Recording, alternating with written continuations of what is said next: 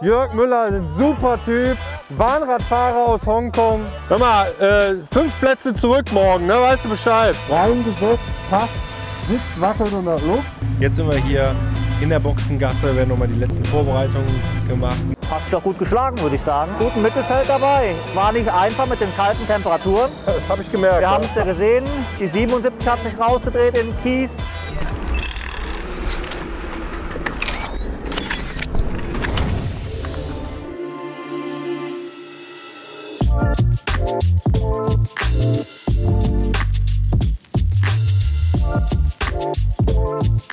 So, unter anderem an so einem Wochenende kommentiere ich ja auch die DTM Trophy.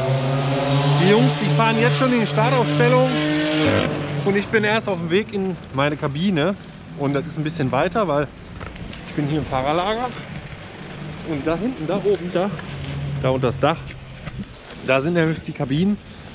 Aber es ist ein bisschen schwierig, weil wir drehen ja auch hier so ein paar Behind-the-Scenes-Videos. Wir waren bei den Freunden von Dekra ne, jetzt kapiere ich das erst mit der Brille. Du kannst halt echt da hingehen und sagen, Moment, das gucke ich mir jetzt hier mal an. So, ah, hm, sehe ich nicht. Moment, da muss ich da ein bisschen drehen. Ach hier, wunderbar. Wir waren mit Daniel Abt unterwegs in der Scheffler-Rakete mit 1200 PS. Du hast eben Apollo 12 gesagt, Alter. Dann war doch der Apparat abgestürzt. Guck mal diesen Mörder-Heckflügel an. Brutales Teil. Geht richtig, richtig gut. Der Apparat schiebt richtig gut an. Es macht schon Laune da mitzufahren. Und jetzt renne ich hier, wie gesagt, zum nächsten Termin und nebenbei muss ich natürlich auch noch mal eben hier einen kleinen Insta-Post machen, weil mein alter Freund René Rastermann Hausgeist Champion geworden ist. Preem, he's been the class of the field. He's a three-time champion. Yeah! Well done. You won. Thank you, René. Thanks. Thanks. Uh, no words. Mega race. I, I have no words. Thank you so much for the last four years. Hier, DTM Trophy, steht schon im Grid. Also mal wieder letzter Drücker. Da hinten Jubelschreie von Rast und Team und Audi. Rudolf Ring haben Sie gesehen. Nico Verdonk aus Belgien zeigt schon, wo es hingehen soll. Nur von Platz 9 aus der fünften Reihe. Nico Verdonk äh, sagt dem äh, Superdrink und äh, Jan Erik ist jetzt aufgeschlagen aus dem Fahrerlager. Du bist irgendwie geflogen, vermutlich weiter Weg. Wir müssen hier eigentlich unter der Rennstrecke durch, hinten bei den Tribünen hoch und dann sitzen wir in den Fernsehkommentatorkabinen äh, gegenüber von Start und Ziel. Eigentlich sollten wir so Flügelchen schnallen. Das wäre nicht schlecht. Bist Schön du außer. Atem? Ein bisschen, ein bisschen. Da musst, Ja, du, musst du an deiner Kondition arbeiten. genau. Danke. Ja, ja sind, äh, wir haben ja zwei, drei, vier, fünf, acht andere Projekte noch hier nebenbei laufen.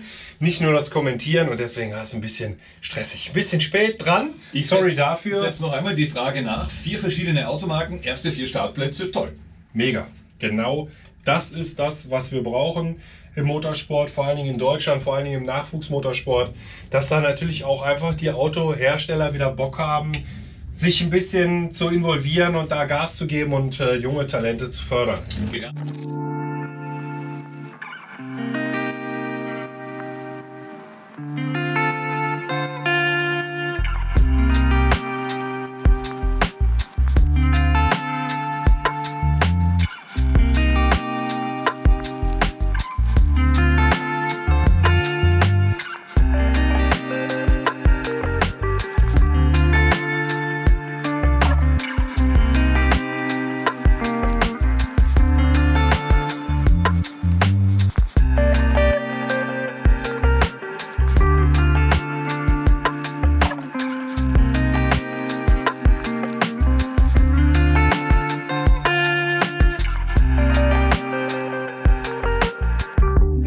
wieder mit unserem Kumpel Jürgen Kastenholz unterwegs, der sich hier um die Safety Cars kümmert, der Safety Car fährt.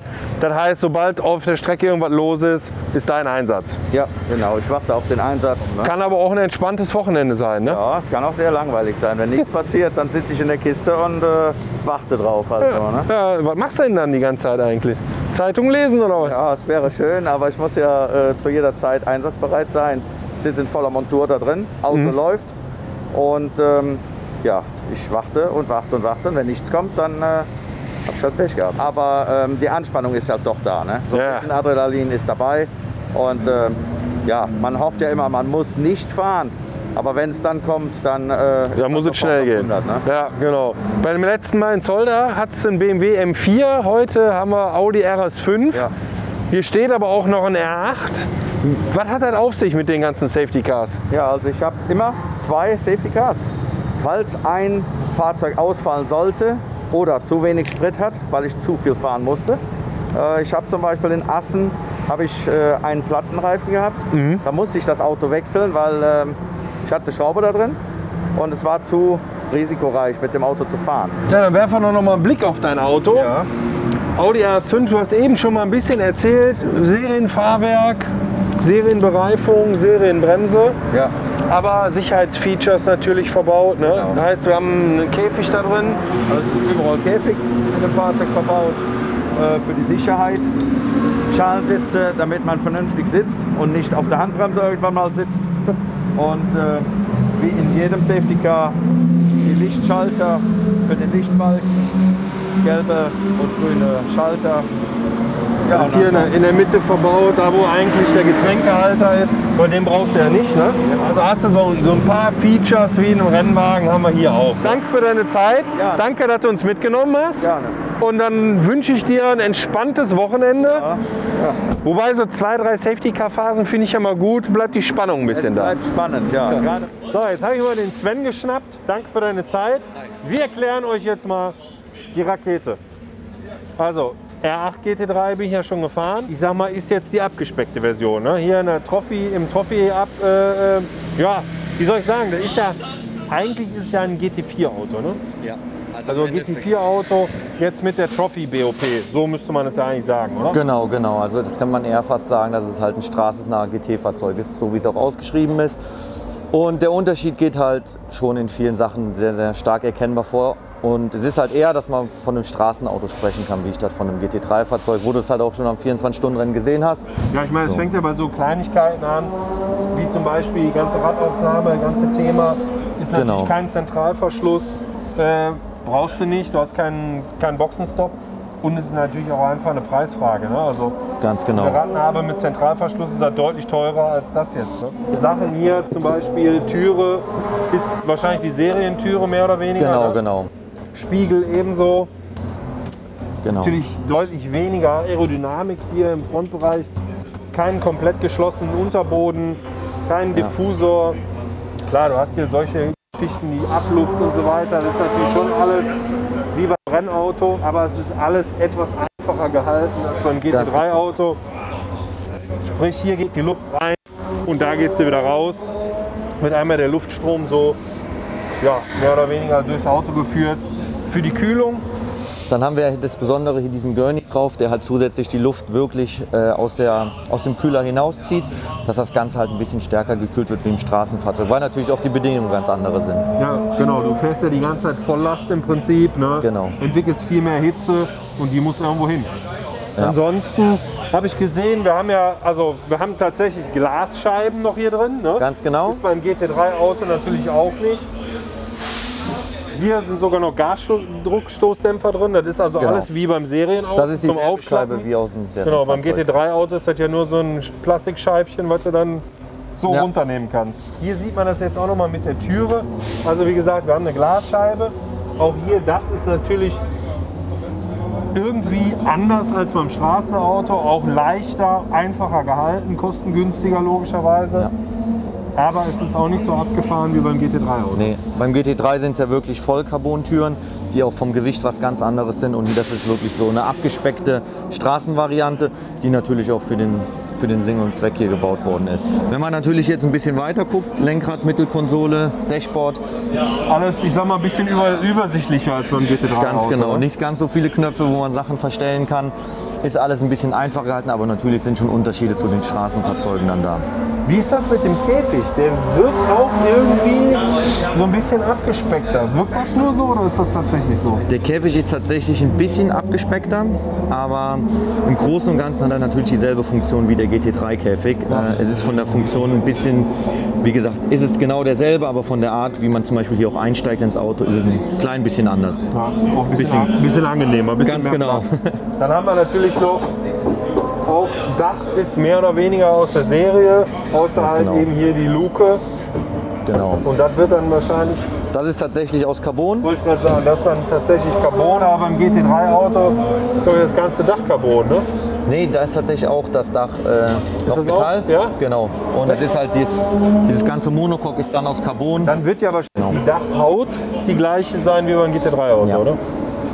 Leistungstechnisch, wie sieht es da aus? Also der Motor im Endeffekt ist genau derselbe wie im Straßenfahrzeug und auch wie der, der im GT3 verbaut ist. Natürlich mit ein paar Modifikationen, weil wir natürlich im Motorsport andere Bedingungen haben. Jetzt fahren wir natürlich fast den größten Restriktor, also fast kann man da wirklich fast der, von der vollen Leistung sprechen, die man natürlich in anderen Rennserien nicht hat. Da Im wirklich natürlich- GT3-Auto vor allen Dingen fast nie, ne? Genau, genau. Da gibt es kaum Rennserien, die wirklich mit einem vollen Restriktor fahren. Und deswegen sind wir hier wirklich fast ganz knapp daran, dass wir wirklich die volle Leistung vom Motor abrufen können. Wo sind wir jetzt gewichtsmäßig bei dem Auto? Bei dem Auto sind wir jetzt beim Leergewicht bei 1460 Kilo. Also schon doch ganz schön schwer für ein Rennfahrzeug. Im Vergleich zum GT3 natürlich nochmal eine Schippe mehr. Aber ähm, natürlich auch trotzdem ein bisschen leichter wie Straßenfahrzeug. Natürlich werden halt unnötige Sachen weggelassen. Alles wird aufs Minimum runtergefahren. Schönes Auto, hat unheimlich viel Spaß gemacht. Vielen Dank, danke für deine Zeit. Danke dir. Danke für die Unterstützung heute, dass ihr alles so schön vorbereitet habt. Danke natürlich auch an Hella Packet, Racing One, dass ihr das möglich gemacht habt. Vielen, vielen Dank. Wir konnten ein bisschen was zeigen, euch ein bisschen tiefer in diese ganze, ich sag mal, Nachwuchsklasse reinholen. Und ja, ich hoffe, ihr hattet euren Spaß. Bis bald. Ciao.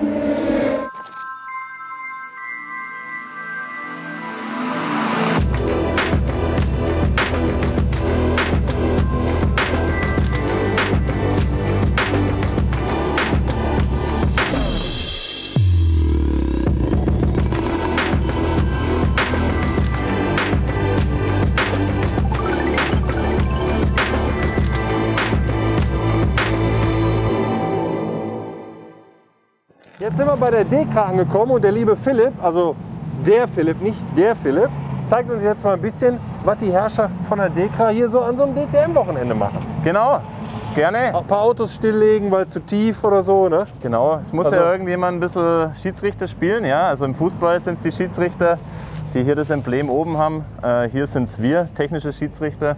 Und ich zeige euch mal ein bisschen, was in unserem Truck so abgeht, hinter die Kulissen schauen. Okay? Vielleicht kann ich ja irgendwo noch so ein paar Plaketten klar machen oder so. Ja. Gutachten. Gucken. Legen wir mal los. Ich zeige euch mal ein bisschen, wie so ein Fahrzeug aufgebaut ist. Könnt ihr hier rankommen und zwar, hier seht ihr auf dem Display mal die Unterwäsche von so einem DTM-Auto. Das sind die ganzen Einheitsbauteile. Die sogenannten Gleichteile, ne? Genau. Ja. Und es sind weit über 100, das heißt, wir müssen natürlich auch schauen, dass diese Teile gleich bleiben. Und man sieht hier das Monocoque, auch diese äh, Reglementpunkte, das sind diese Messpunkte hier. Das zeige ich euch dann gleich drüben nochmal in der Box, wie das genau funktioniert mit unserem Messarm. Wir haben diese Einheitsbauteile zu checken und wir bekommen von den Herstellern dann die 3D-Daten. Das heißt, die können wir dann da drüber legen. Die werden am Anfang der Saison homologiert und werden äh, geprüft, ob die diesem Aero-Reglement entsprechen. Und wenn diese Überprüfung stattgefunden hat, dann können wir diese Karosserie einfrieren. Es gibt ja keine Aero-Entwicklung in der Mhm. DTM und können diese dann über diese Reglementpunkte mit dem Messarm können wir uns ins Fahrzeug einmessen und können dann die Aerodynamik über die Saison mit prüfen, ob die in den Toleranzen eben, äh, ob- die Toleranzen stimmen. Und dann haben wir hier unseren Dämpferprüfstand. Wir haben Einheitsdämpfer, das sieht man hier.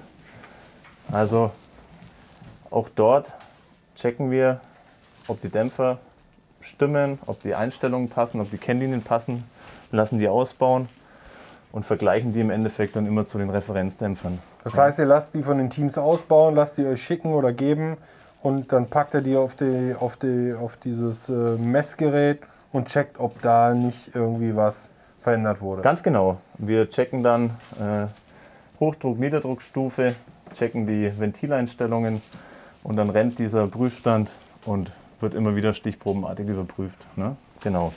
Hier sitzen unsere zwei Jungs, der Vladi und der Daniel. Daniel kann euch so eine unserer neuesten Errungenschaften mal vorstellen, und zwar die HoloLens. Äh, könnt ihr mal hierher kommen. Ich habe euch ja gerade erzählt, dass es doch einige Einheitsbauteile gibt, zum Beispiel aber auch Luftführungen, die individuell sind von den Herstellern. Ja. Ähm, und die müssen wir natürlich auch irgendwie überwachen. Also das heißt, äh, wir müssen schauen, dass wir da äh, einen Überblick bewahren. Es sind so viele komplexe Teile, so viele komplizierte Luftführungen. Und haben uns überlegt, wie machen wir das? Und haben gesagt, hier die HoloLens ist das Mittel der Wahl. Äh, ziemlich abgespacedes Teil. Und äh, diese, diese Brille, äh, könnt ihr auch gerne mal aufsetzen. Du hast aber einen großen Schädel, ey. ja gut, ist Ingenieur, weißt du, da Ja, muss ja. viel rein, das ist ja klar, verstehe ich. Ist ähnlich wie beim Formula, Formula Student hast du auch noch am Start, sehe ich. Ja, genau, da waren wir vorher drin. So. Ja, das Jetzt habe ich hier meinen weißen Punkt auf jeden Fall. Richtig, genau. Und jetzt sehen wir auch quasi aus seinem Blickfeld, was er alles sieht. Quasi Guck mal, wie das PC aussieht. Das ist ja mein PC, Lieblingsbild PC. hier. Jetzt gibt es quasi zwei Handbewegungen, die für uns mal essentiell sind. Das eine ist so eine Blume von unten. Von unten rauf macht man eine Blume mit der Hand. Dann muss Ah, das ja. Menü öffnen und jetzt kann man beispielsweise auf das Bellhaus draufdrücken. Das heißt, den weißen Punkt drückt man aufs Bellhaus drauf macht so einen Klick mit dem Finger nach unten. So. Und jetzt öffnet sich das quasi. Jetzt dauert es kurz einen Moment. Ah ja, da ist es, So, genau. genau. Und jetzt kann man dasselbe wie mit einem Klick auf das Bild gemacht hat, einfach den Finger draufdrücken, zulassen. Dann ist ein Rahmen aus dem Rum und jetzt kann man es mit der Hand bewegen. Abgefahren. geil, hä? Das ist echt geil. Muss Ja, und da stehst du natürlich jetzt. Ja, genau. Und da stehst du jetzt einfach am Auto und wir haben ja hier doch einige Autos. Wie, wie kann ich das drehen Mit so? beiden Fingern. Beide Finger nach vorne, runter. So? Und dann die eine Hand nach vorne, die andere nach hinten. Ist das ja, wild. Genau. Genau. Und Hintergrund Datenblatt kann man auch einfach draufschauen, einen Klick machen und dann ändert sich die Seite. Und schon hat, könnte man eigentlich auch durchschicken und du könntest die ganze visuelle Überprüfung machen. Ja, geil. Würde ich erstmal erstmal den Rast disqualifizieren. Einfach so, einfach so aus Spaß. So, pass auf, René, ich habe mir das hier angeguckt, ist nicht. Geil. Das ist echt abgefahren. Nicht schlecht. Ja, vor allen Dingen, was, ne, jetzt kapiere ich das erst mit der Brille. Du kannst halt echt da hingehen und sagen, Moment, das gucke ich mir jetzt hier mal an. So, ah, hm, sehe ich nicht. Moment, da muss ich da ein bisschen drehen. Ach, hier, wunderbar. Ne, alles klar, ist richtig. Tschüss. Genau. Exakt. Und dann Das mit dem Datenblatt kannst du dann noch irgendwie gucken, okay, alles klar, das und das muss das haben. Perfekt. Ist dann drin. Ja, ja allem, genau, die, die Teilenummer etc. kannst du dann auch ver Wenn vergleichen. man einen kleinen Klick macht, wie beim PDF, dann ändert sich auch die Seite. Einmal zusammendrücken, wenn man ein bisschen durchgeht, kommt die technische Zeichnung noch. Krass. Ist alles dabei. Gehen wir raus in unsere Abnahmebox, da zeige ich euch noch ein bisschen was. Ja, perfekt. So, da sind wir vor der Abnahmebox. Auto von Nico Müller steht da drin. Hier stehen schon die Mechaniker, dass wir bloß keinen Blödsinn machen. Die haben alles im Blick. Genau, sind aufgeregt, ob alles passt am Auto. Und das schauen wir uns jetzt mal an. Dann gehen wir mal rein und schauen uns das Auto an. Also ihr seht hier, ich habe euch gerade das Ganze in 3D gezeigt. Jetzt habt ihr das in Realität. Ihr seht hier das Monocoque. Das sind unsere Referenzpunkte, diese drei. Ja. Die sind an jedem Fahrzeug, in jedem, Fa in jedem Fahrzeug oder gleich. was ja. ist das für genau, die sind? Aluminium? Aluminium, genau, die sind hier drin. In jedem Fahrzeug gleich, ja, an der gleichen Stelle. Wir haben Messprotokolle und die haben wir in unserem Programm hinterlegt.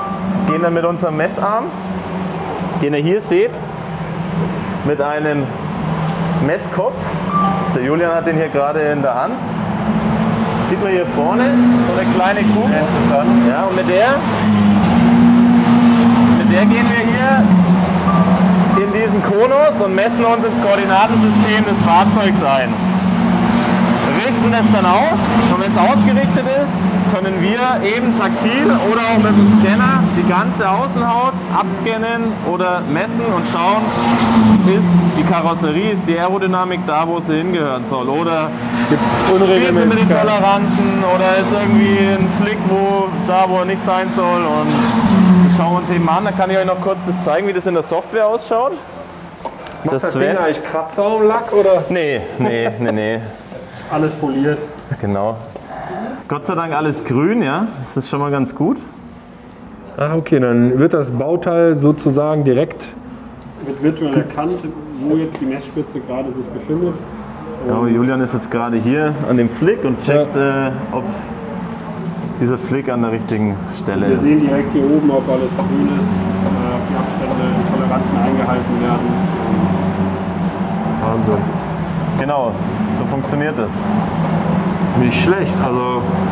Würde ich sagen, das ist High-End.